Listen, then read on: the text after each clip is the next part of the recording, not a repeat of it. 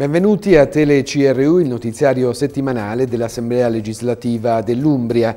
Prima e seconda commissione dell'Assemblea legislativa a Norcia hanno incontrato i sindaci della Valnerina per fare il punto sulla gestione dell'emergenza e sulla ricostruzione. David Mariotti Bianchi. La prima e la seconda commissione dell'Assemblea legislativa dell'Umbria, presiedute da Andrea Smacchi ed Eros Brega, si sono riunite a Norcia per fare il punto della situazione post-sisma insieme ai sindaci delle aree colpite dal terremoto del 24 agosto. Dall'incontro è emerso come sia terminata la prima fase dell'emergenza post-sisma con la messa in sicurezza di persone e strutture, mentre ora inizia la seconda fase, quella che riguarda la sistemazione provvisoria della popolazione, le strutture strategiche strategiche e produttive. Un passaggio da avviare in maniera veloce per l'avvicinarsi della stagione invernale. Inoltre si dovrà iniziare ad impostare la ricostruzione da realizzare con il contributo coordinato di tutti i comuni colpiti che dovranno fornire alle due commissioni dell'Assemblea un documento unitario che supporti l'attività legislativa. Il presidente della seconda commissione Eros Brega ha sottolineato l'importanza di questa riunione a Norcia. In seconda commissione noi abbiamo in eh, pieno dibattito le leggi sul turismo, sul eh, commercio, sull'urbanistica, cercando di assumerci grandi responsabilità e sostegno alle esigenze vere di questo territorio, cerchiamo di confrontarci con i sindaci interessati per capire quelle che possono essere le iniziative vere, concrete e anche abbastanza veloci per poter aiutare e fare fronte secondo me a questa emergenza, che è un'emergenza di rilancio di questo territorio, di messa in sicurezza di questo territorio e di sostegno all'economia di questo territorio. Dobbiamo assumerci la responsabilità con le risorse che abbiamo e non dobbiamo prenderci impegni che non possiamo prenderci noi e che insieme al governo dobbiamo lavorare affinché alcuni temi e alcune risorse le metta il governo centrale e quello che noi possiamo fare come regione non dobbiamo sottrarci ma ci dobbiamo assumere, ribadisco, le responsabilità di nostra competenza e cercare di essere concreti senza fare promesse che non potremo mantenere, senza fare eh, banali passerelle che credo che questa popolazione, questo territorio non ne ha assolutamente bisogno. Andrea Smacchi, presidente della prima commissione, ha lanciato la proposta dell'Art Bonus anche per i beni culturali privati. È importante che sia qui l'Assemblea legislativa, oltre che il governo della nostra regione ci sono consiglieri regionali che in qualche modo sono pronti e disponibili a fare di tutto per stare vicino a queste popolazioni e a presentare proposte concrete per venire incontro sia ai cittadini sia alle aziende e alle imprese che in questo momento sono in difficoltà ma hanno intenzione di ripartire in tempi veloci. Una delle proposte concrete che presenteremo è la possibilità di estendere il cosiddetto art bonus, cioè la possibilità della detrazione fiscale per piccole o medie aziende ai beni privati, eh, fra cui quelli ecclesiastici, sempre nell'ambito culturale. In questo momento è possibile soltanto per i beni pubblici, abbiamo già un eh, via di massima da parte del governo centrale e credo che in via sperimentale cominceremo dai comuni interessati dal sisma del 24 agosto. Quindi una possibilità in più, quella di avere la detrazione fiscale per chi vorrà donare eh, de delle risorse per risistemare gli oltre 13.000 beni culturali privati che sono stati catalogati come lesionati. Proposte concrete anche dal vicepresidente della seconda commissione Emanuele Fiorini. Come siamo stati nei vari giorni antecedenti al, uh, sul territorio, abbiamo parlato con diverse persone, abbiamo ascoltato soprattutto le persone, i loro, loro malesseri, le loro preoccupazioni, oggi li riportiamo in questa sede è stato un lavoro importante perché oggi sappiamo come anche interagire e come andare incontro alle loro esigenze e soprattutto dobbiamo oh, con tempi celeri ricostruire e dare la possibilità di avere ognuno oh, una casetta di legno ma soprattutto anche ai produttori e agli agricoltori che vivono in una situazione abbastanza complicata visto che comunque è già iniziato anche lo sciacallaggio. E poi eh, abbiamo preparato un documento con otto con otto proposte che eh, porteremo all'esamina della Commissione. Non è giusto prevedere solo 200 euro a componente, poi per un massimo di tre componenti, quando a un presunto profugo si riconoscono 1138 euro. È un razzismo al contrario che va contro i terremotati, ma soprattutto contro i cittadini umbri, contro gli italiani. L'importanza dell'ascolto del territorio è stata sottolineata dalla vicepresidente della prima commissione Maria Grazia Carbonari. Innanzitutto è stato positivo questo incontro sul territorio, noi lo abbiamo già fatto come gruppo consigliare qualche giorno fa, è stato positivo però sentire le esigenze di tutti i sindaci che sono appunto le autorità che in primo luogo oh, hanno, oh, sono vicino alle esigenze dei cittadini e ritengo che al di là di tutto eh, i cittadini di queste zone colpite in modo così eh, così forte e negli anni eh, da, dal sisma debbano essere posti al centro dell'attenzione. Quindi eh, per noi è importante eh, ascoltare le esigenze dei cittadini delle zone terremotate e anche delle attività produttive e che queste, le, le loro esigenze vengono poste al primo, oh, al primo posto rispetto a quelle che invece sono diciamo così, le indicazioni eh, nazionali o le indicazioni o quello che a noi magari farebbe più comodo, farebbe piacere. Quindi in primo luogo ricordiamoci che bisogna rispettare queste comunità ed evitare lo spopolamento di, queste, di questi territori. Dai sindaci dei comuni colpiti dal terremoto, a partire da Nicola Alemanno di Norcia, è emersa la necessità di fare in fretta e di dare leggi che possano aiutare il territorio a ripartire il prima possibile.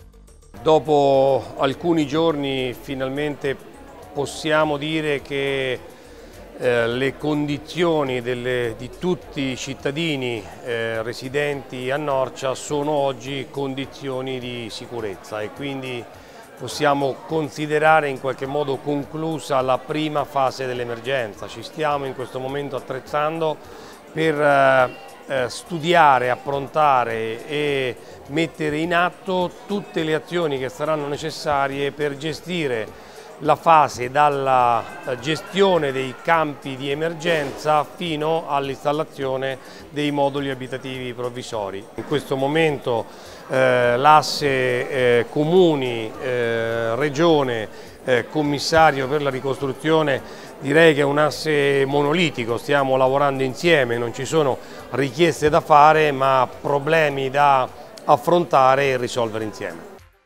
Tra le problematiche principali quella della viabilità da ripensare così da evitare l'isolamento di queste aree durante le emergenze. Particolarmente critica la situazione della strada che collega Norcia a Castelluccio ancora inagibile e che crea molti problemi anche per gli aiuti. Dalla riunione è emerso come le ricostruzioni del 79 e del 97 abbiano sostanzialmente retto, le case non sono crollate ma dagli interventi è apparsa chiara la necessità di impostare una ricostruzione integrata che non faccia differenza tra residenti e non residenti. Questo perché si è visto come il problema maggiore siano stati proprio quegli immobili, spesso secondi abitazioni, che non sono state adeguate nelle ultime ricostruzioni. Un grande ringraziamento generale è andato alla protezione civile che ha gestito la fase dell'emergenza in modo efficace ed efficiente. Il direttore regionale Alfiero Moretti ha fatto il punto.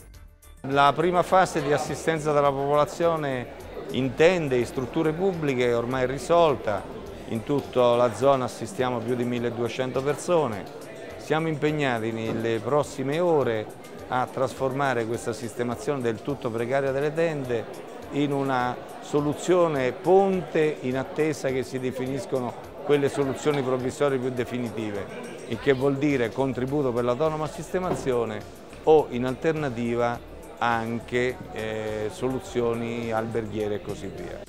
Alla fine dei lavori i consiglieri hanno effettuato un sopralluogo nella frazione di San Pellegrino di Norcia tra le più colpite dal terremoto. Prima e seconda commissione torneranno di nuovo a riunirsi a Norcia per incontrare i rappresentanti delle categorie economiche delle aree terremotate.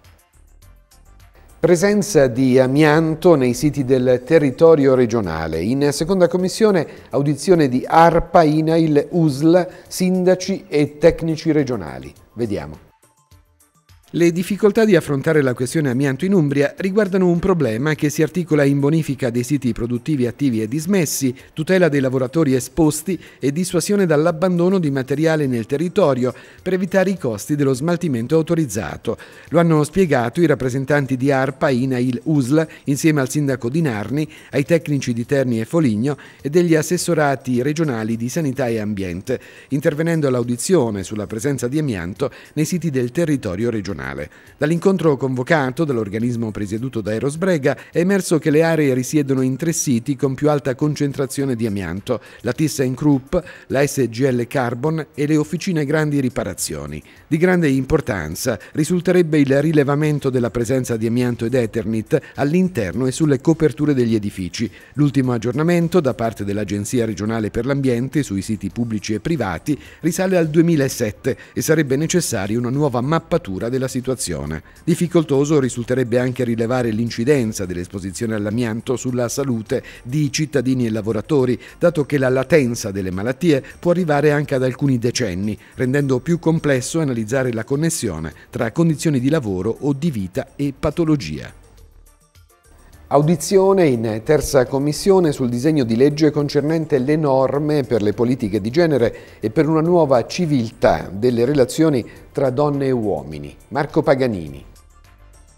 Si è svolta a Palazzo Cesaroni, sede dell'Assemblea legislativa dell'Umbria, l'audizione convocata dalla terza commissione in merito al disegno di legge della Giunta Norme per le politiche di genere e per una nuova civiltà delle relazioni tra donne e uomini. Durante l'incontro a cui hanno partecipato consigliere di parità, insegnanti, sindacaliste, operatrici sociali ed esponenti dell'associazionismo, è emerso l'apprezzamento per un testo che affronta questioni attuali e di grande rilevanza. Particolare attenzione è stata chiesta per i progetti formativi formativi rivolti a docenti e studenti che molti degli interventi hanno valutato fondamentali per sensibilizzare i ragazzi rispetto alle problematiche della differenza di genere ed aiutarli nel proprio percorso di affermazione verso una cittadinanza consapevole. Il presidente Attilio Solinas ha spiegato che questo disegno di legge rappresenta una priorità assoluta per la terza commissione, confermando l'impegno a portarlo in aula prima possibile approvata dalla terza commissione una proposta di risoluzione sulla riorganizzazione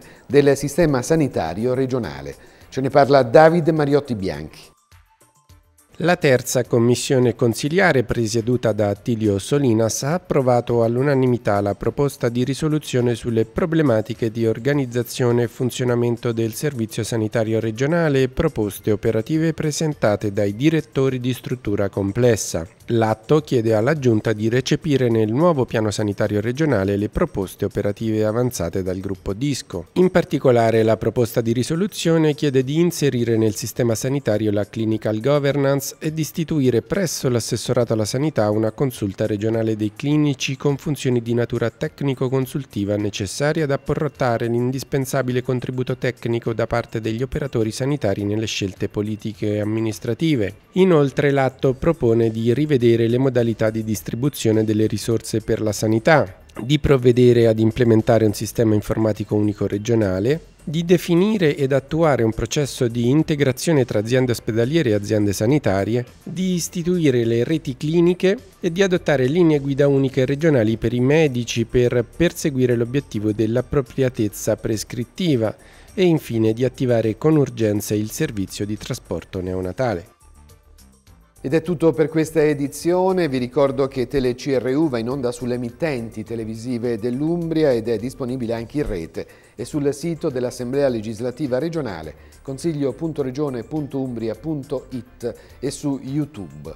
Grazie per averci seguito, buona settimana a tutti, arrivederci.